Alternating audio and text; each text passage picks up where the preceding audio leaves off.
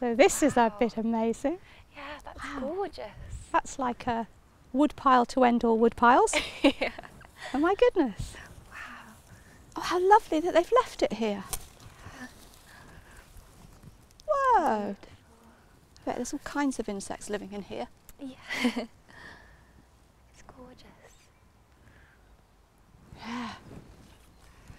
So I'm just having a look at um, this bit here. This this is sort of um, really rotten. I mean, I, I I dare say there will be creatures uh, who come and use sort of get inside the bark, and there's vegetation growing on it already. But but this is the the more rotten it is, the more suitable it is for for burrowing insects. Um, so so solitary wasps. There are one or two solitary bees that do burrow into dead wood um, in this country, but but so much more. I know. I, I guess I don't know how long this has been here. It doesn't look as if it's been here a very long time, but I guess in time it'll get it'll be covered in fungi when it gets all damp and really really rotted, and then of course all the nutrients will sort of go back into the earth.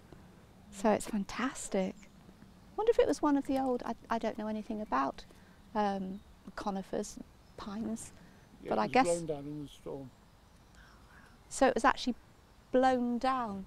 Wow. Yeah. Wow. Incredible. Yeah, I've, I've got a few.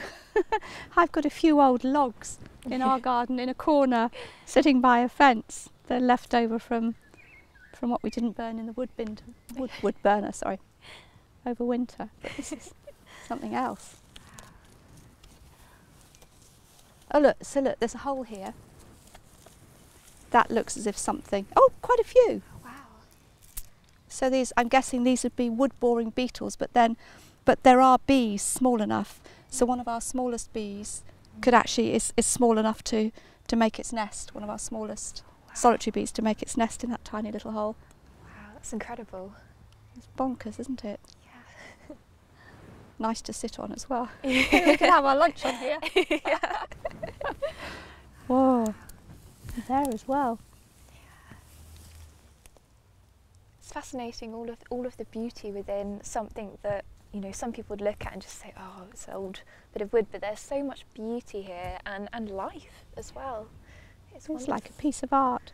Do you remember? Did you ever, when you were a child, used to do put pieces of paper on bark and do oh, yes. bark with wax crayons? Yes, yeah. I used to love doing that. It's fantastic. That and um, and in in old churches we used to.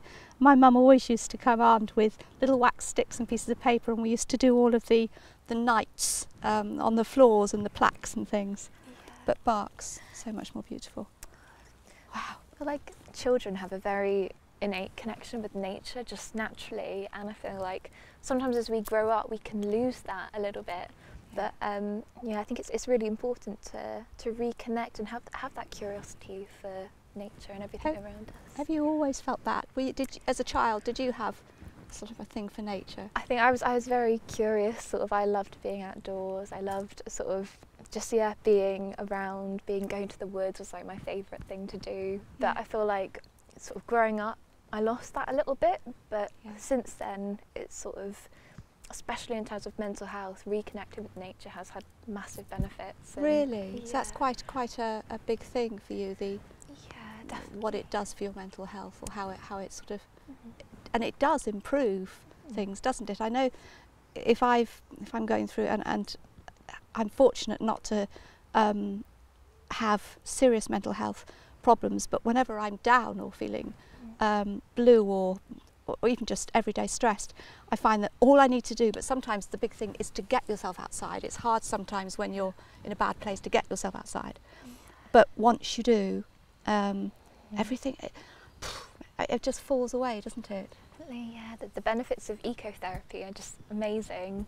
And I know doctors are now prescribing sort of going out into nature now, I heard. Which is, Really? yeah, which is it's fantastic, really, I think.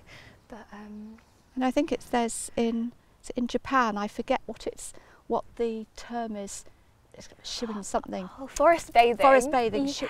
I want to say shirin yoku, but it's not that. Yeah. Forest bathing. Yeah, I- Um, that's that is brilliant. I read a book on that, and it is yeah, it's beautiful. Sort of how I wish in this culture we were more sort of connected with the benefits of nature and how being out in trees and our like our symbiotic relationship with them is, is so important for, for our well-being and yeah Well, It's sad that we've lost it. I, I know I, you say, I mean, I, I don't, you're, are you in your 20s? yeah in your 20s, I'm in my 60s. Um, and I lost all of this for decades, literally decades. Um, and and it was in my, oh, was it my late 40s. I was walking across the Malvern Hills and, and I literally, I suddenly, I realised, literally in an instant, that I knew more about the French Revolution than I did about the trees around me. Um, and it was a shock wake-up call. And I, I think some, I was lucky you know, and, and since then I've been a nightmare to go for a walk with because I look at everything. But I think some people spend a lifetime never having had that connection. You see children, small children, um, already who are pulled away from messy areas or told not to touch things like slugs or or beetles and or to, to swat insects. So I think it's it's conditioning yeah, very often from an early age. But definitely you're lucky to have uh, have rediscovered it yeah. um, early on. Very lucky.